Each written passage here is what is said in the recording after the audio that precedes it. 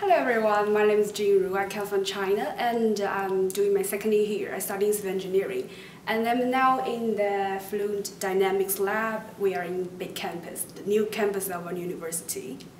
I want to tell you some uh, reasons why I came to Swansea University. Actually, I really like this place. But the main reason I came to here because, as we all know, Swansea University is a world famous university, especially for civil engineering study.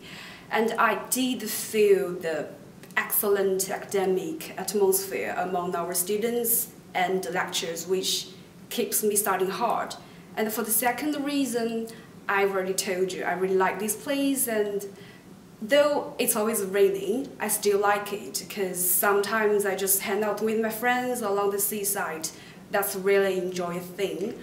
The more thing I want to tell you is I'm doing my second year and I still got another year. So I hope I can like find an internship or some placement to gain uh, experiences and then become a real engineer.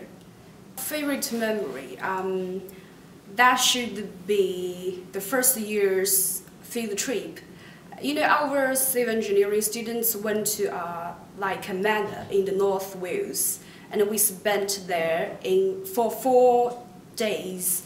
Um, lectures and students ate and worked and uh, lived together, and we done our jobs during the day and have fun. You know, play cards or drinks during the night, and that's a really unforgettable experience for me so far.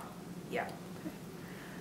Uh, recently, I made several new friends. Uh, one is uh, come from Germany, and the one is come from Spain. Uh, we're going to take a trip next month to uh, Bath.